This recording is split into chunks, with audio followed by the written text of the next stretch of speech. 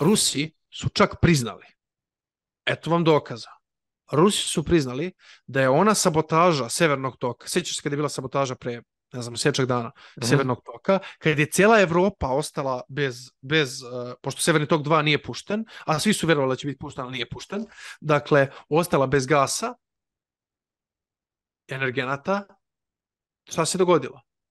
Objavili su da su britanski operativci, naravno za SAD to se već zna, da su britanski operativci učestvovali u sabotaži. Ja sam o tome govorio zašto nisu narušeni putevi i koridori naftovoda i gasovoda iz Norveške, iz Engleske, nego je samo taj. A oni su bili vrlo blizu. Pa zato što je planirano urađeno tako. I to je ono što ja govorim od početka, da je britanski plan sahraniti kontinentalnu Evropu. Sahraniti Evropu na uštrb Amerike, da bi, Evro, da Amerika kao eksponent City of London zapravo bila da bi ona žrtvovala Evropu zarad sebe, da bi preživela.